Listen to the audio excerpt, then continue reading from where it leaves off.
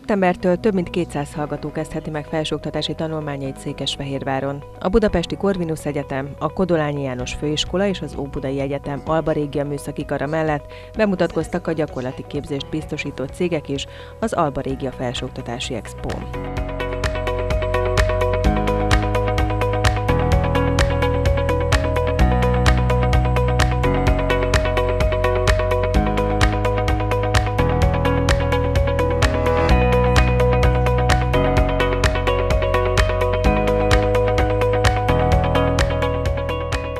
Többségében maturák és maturandák érdeklődtek az iskolák és a cégek kínálta lehetőségek iránt. Kinga még nem döntött el, melyik felsőoktatási intézményben folytatja tanulmányait, de az biztos, hogy a Kodolányi János Főiskola ingyenes nyelvoktatásán részt vesz. A Deák Ferencben tanulok én is, ugyanúgy logisztikát, és engem is igazából lesz, hogy kipróbáljam, hogy hogy sikerülne ez a nyelvvizsga, meg hogy ez alapján tudnám, hogy hogyan tanuljak tovább.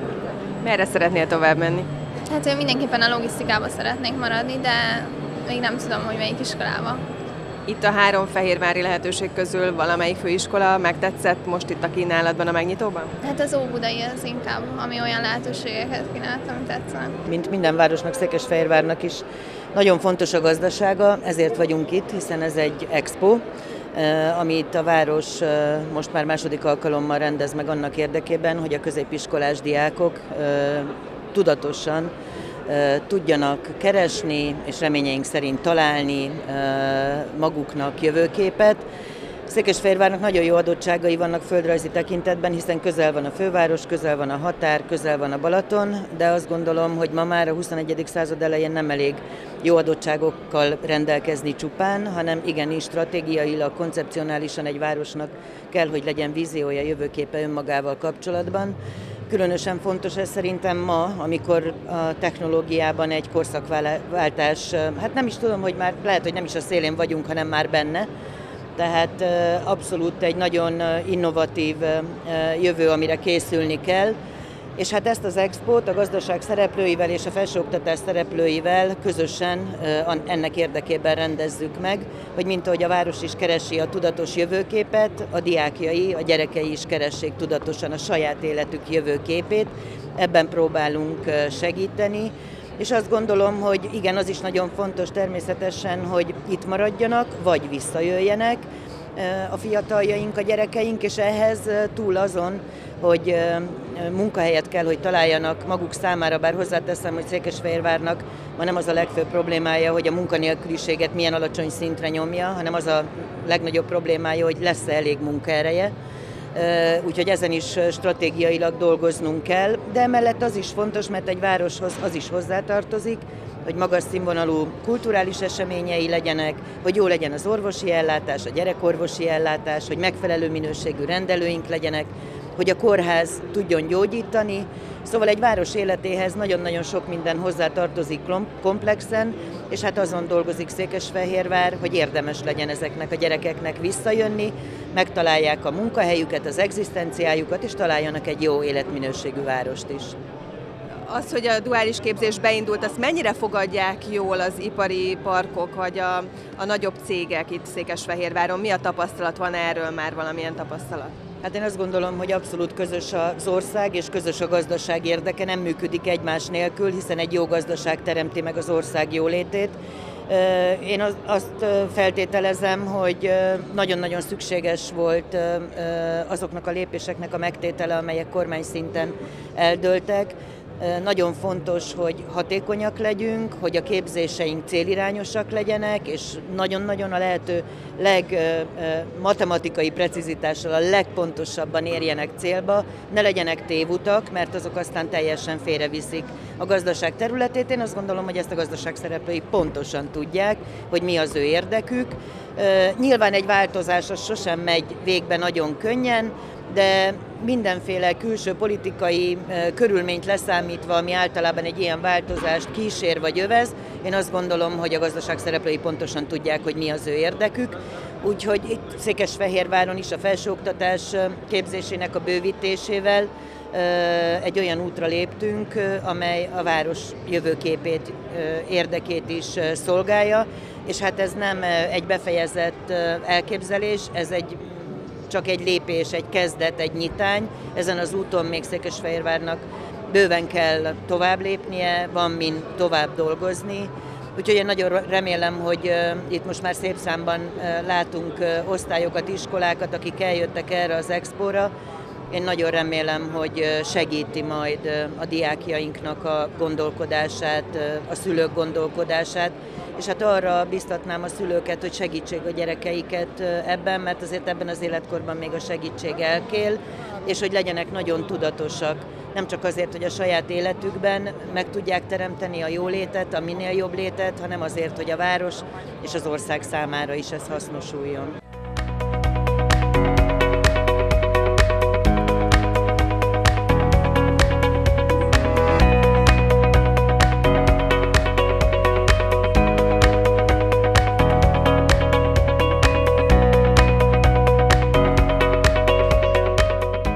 Fehérvári képzőintézmények mindegyike kínál duális képzést, melynek lényege, hogy az iskola mellett a fiatalok dolgozhattak is, amelynek köszönhetően nem csak szakmai gyakorlatot szerezhetnek, de már a tanulmányaik alatt is jelentős jövedelemre tehetnek szert, és akár jövőbeni munkahelyüket is megtalálhatják. Az Óbod Egyetem egyik meghatározó kara a Székelységváron működő Alba Régia műszaki kar, mely a képzési területeink közül a műszaki képzési területeken öt alapszakon, illetve mesterképzési szakon kínál programot, lehetőséget, tanulási kínálatot a város és a régió fiataljai számára.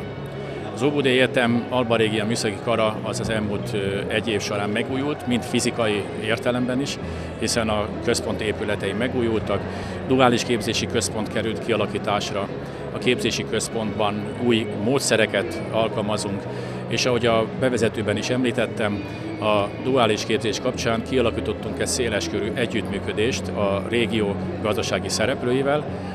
A megkötött szerződéseink volumenje tekintetében immár több mint száz olyan férőhelyünk van, illetve széles céggel kötöttünk szerződést, akik várják jelen pillanatban is a 2016-os évben a beiskolázott gyerekeket, illetve 2017-es tanévben.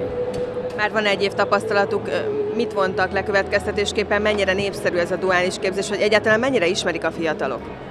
Duális képzés az igazából most fog teret nyerni. Az Óbud Egyetem korábban is, és a korábbi intézményfejlesztési tervében is jelezte, hogy a gyakorlati képzésnek Felegvára kíván lenni ebben az évtizedben, és a most elfogadott és a minisztérium által jóvagyott intézményi fejlesztési terv ilyen értelemben kiemelt szerepet szán a duális képzésnek. A, nem véletlen, hogy itt Óbudán kezd, Óbudai Egyetem itt Székesfehérváron kezdte meg a duális képzési programnak a meghirdetését 2015-ben, hiszen a gazdasági életnek olyan kiemelkedő szereplői vannak mind a városban, mind pedig a környezetében, akik fogadóképesek erre, nyitottak, kiváló együttműködést alakítottak ki velünk, és az elmúlt egy év tapasztalatai azt mutatják, hogy hatékony is ez az együttműködés. Mi lehet ennek az eredménye? Mit tudunk szembeállítani a eredményesség tekintetében? Mindenképpen azt, hogy itt minimális lemorzsolódás jött létre az első éves hallgatók körében.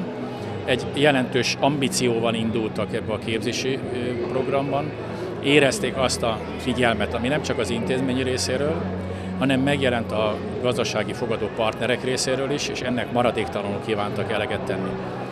20 kezdték meg a tanulmányokat, gyakorlatilag mind a 20 az első évet eredményesen befejezte, abszolválta, és indult neki most a második év programjának.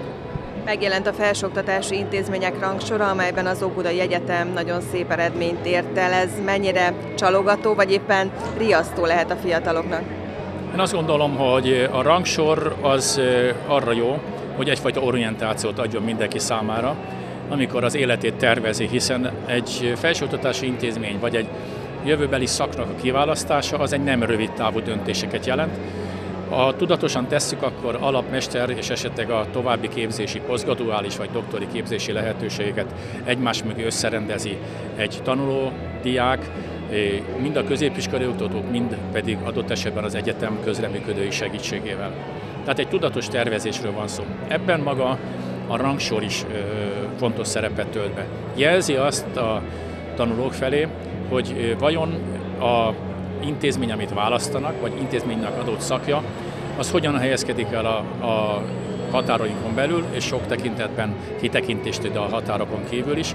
Milyen tehetséggondozási programokat kínál az egyetem, gondolok tudományos diákköri tevékenysége, vagy éppen a szakkollégiumok tevékenységére, vagy amit említettem is a bevezetőben, hogy a intézményben végzettek hogyan tudnak elhelyezkedni, milyen fizetéssel, milyen megbecsülés övezi őket, és hogy képesek-e arra, már pedig a mi hallgatóink képesek, hogy azonnal a végzés után valós gazdasági feladatokkal bombázva őket hely tudjanak állni az életben.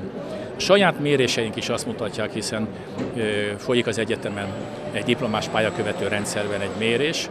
Az a tapasztalatunk, hogy a műszaki szakjainkon végzett hallgatók, azok gyakorlatilag legkésőbb három-négy hónappal a végzés után el tudnak helyezkedni, sőt, sajnálatos módon néhány kórház szakunk, ilyen például a informatika vagy a villamos és gépészmérnöki már a végzés során elhelyezkedtek hallgatói, tehát olyan megkeresésekre, amelyek ezt követen érnek bennünket, nem tudunk végzett friss diplomást kínálni. A Budapesti Corvinus Egyetem tavaly indította el Székesfehérvári képzéseit, a lehetőségek jövőre tovább bővülnek.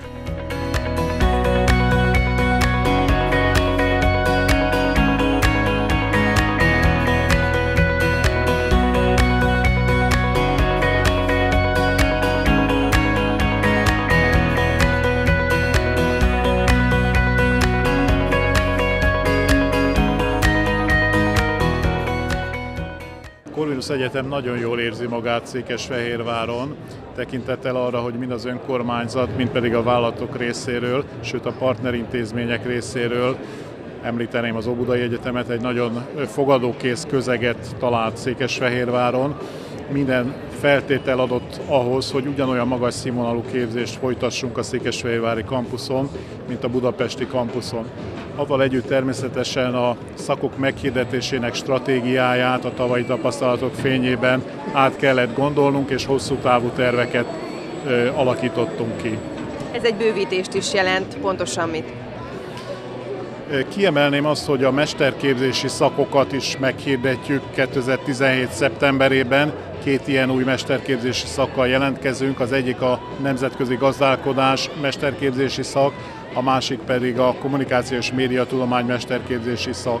Ugyanakkor az úgynevezett posztgraduális képzések körét, szakirányú továbbképzések körét is jelentős mértékben bővítettük, mind a gazdaságtudományi, mind pedig a társadalomtudományi területen, csak példálózva emelek ki, például a vámlogisztikai szakirányú továbbképzésünket nyilván elsősorban a cégeknél dolgozók számára ajánljuk, akik ilyen munkaterületen dolgoznak továbbképzés formájában, vagy mondjuk a közoktatási vezetőképzést, ami nyilván a iskolákban dolgozókat célozza meg. Tehát mind a mesterképzések, mind a szakirányú továbbképzések tekintetében bővítettük a portfóliót, de továbbra is azt hirdetjük, és egyre inkább szeretnénk, ha a Székesfehérvári kampuszunk erről lenne híres, hogy a Székesfehérváron az alapképzések tekintetében duális képzéseket folytat a Corvinus Egyetemen. Egyetem. Duális képzésre alapképzési szinten Budapesten nincs lehetőség, tehát kimondottan ezt állítjuk a kommunikációnk középpontjába. A Kodolányi János Főiskola 25 éve van jelen Székesfehérváron. Az elmúlt negyed évszázad nemzetközi hírnevet szerzett az intézménynek. Duális képzésre már itt is jelentkezhetnek a fiatalok. 2016-tól indítottuk el a szakjainkon a duális képzést. Ez valójában a következő szakokat jelenti, hogy a gazdálkodási és menedzsment, a turizmus vendéglátás, az emberi erőforrás menedzsment, illetve a szociális munka alapszakokon indul a képzés. Tehát azokon a képzéseken, amelyek úgynevezett gyakorlatorientált képzések, tehát 6 plusz egy fél éves képzésekről van szó. Most ezeket a képzéseket hirdetjük valójában minden képzési helyszínünkön. A képzésekről tehát már hallhattunk, de mi lenne az a csalogató pár mondat, amit a leendő hallgatóknak elmondana itt az Expon? Miért érdemes a Kodolányit választani? Hát nézze, a maguk a duális képzések alapvetően azért a műszaki, informatikai, gazdaságtudományi képzésekre vannak kihegyezve.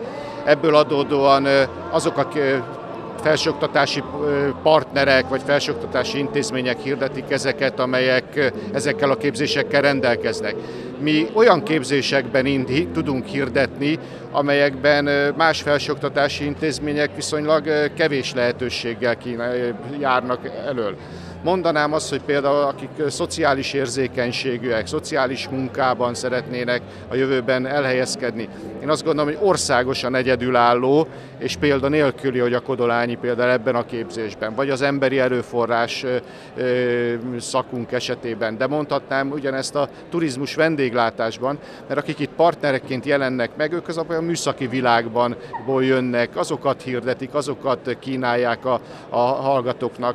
Mi egy kicsit a ilyen szoftos, lájtosabb helyeket, mint a turizmus, a gazdálkodás, menedzsment. Ez az egyik dolog.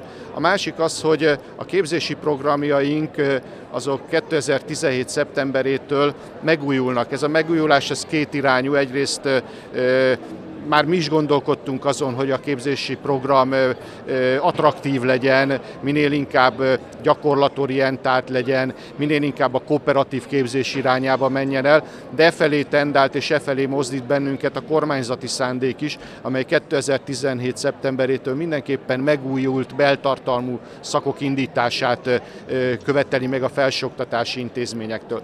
Ez a munka gyakorlatilag nem csak elindult, hanem már a vége felé járunk, tehát az alapképzéseinket, a mesterképzéseinket, a felsőoktatási szakképzéseinket teljes egészében megújítjuk. Én azt gondolom, hogy egy felsőoktatási intézmény akkor lesz innovatív, akkor lesz attraktív, hogyha olyan képzési programmal, olyan oktatógárdával és olyan hallgatói bázissal dolgozik, amelyre én azt gondolom, hogy a Kodolányi János Főiskola elmúlt 25 éve garancia. Mindez persze nagyon fontos, de egy fiatal számára a választásnál fontos a diák élet is, azok a bizonyos főiskolás évek, 25 év tapasztalata van ön, önök mögött. Mi a tapasztalat Székesfehérváron? Mennyire érzik jól magukat a fiatalok?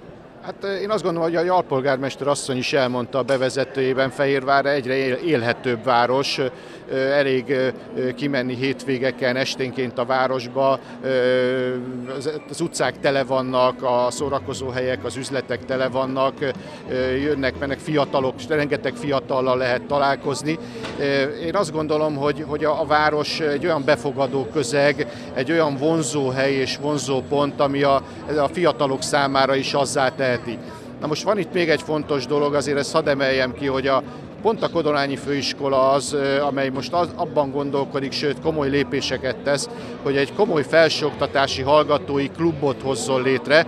Ennek megvan a területe is, ugye a Fürdő utcában a, a központi épületünk alatt van egy hatalmas pincerendszer, annak a kiépítése most folyamatban van, és bízom benne, hogy minél előbb birtokba vehetik a Székesfehérvár tanuló felsőoktatási intézménybe járó hallgatók, nem csak kodolányisok, bárkit szívesen vártunk.